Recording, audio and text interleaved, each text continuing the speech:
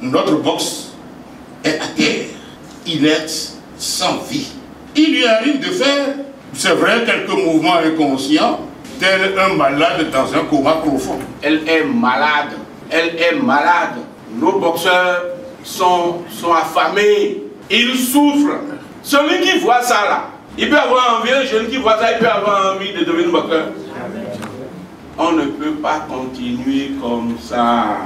Et c'est pour définitivement ressusciter le noble art de ses cendres que le comité exécutif de la Fédération béninoise de boxe a réuni les forces vives de cette discipline autour de séminaires ateliers. Durant deux jours de réflexion, les participants sont invités à trouver une orientation claire, laquelle permettra aux acteurs de la boxe béninoise d'éviter de naviguer au gré du vent. Pas moins d'une cinquantaine de médecins, grands connaisseurs de la boxe, sont conviés en séminaire pour participer à cette grande opération de réanimation de la boxe. Pendant 48 heures, nous sommes appelés à poser le vrai diagnostic pour mettre en place un vrai traitement qui s'impose à tous. Nous avons autorisé l'accès du bloc opératoire à des personnalités du monde sportif et même au-delà. C'est pour nous une manière de nous mettre la pression, la bonne pression.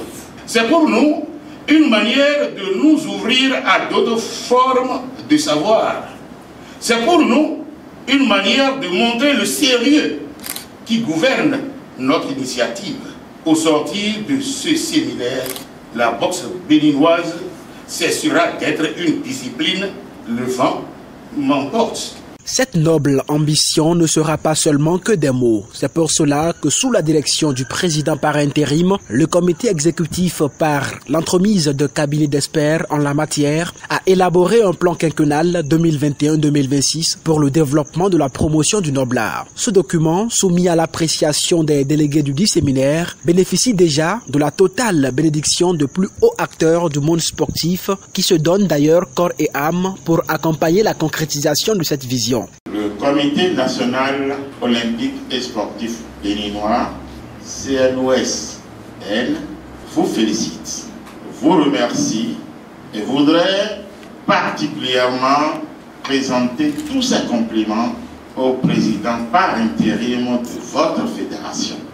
Je voudrais insister particulièrement sur l'humilité du professeur Falola, directeur de l'IRGEPS qui n'a pas hésité à dire publiquement qu'il souhaite que la boxe, les acteurs de la boxe viennent donner vie à ces étudiants en matière de la boxe.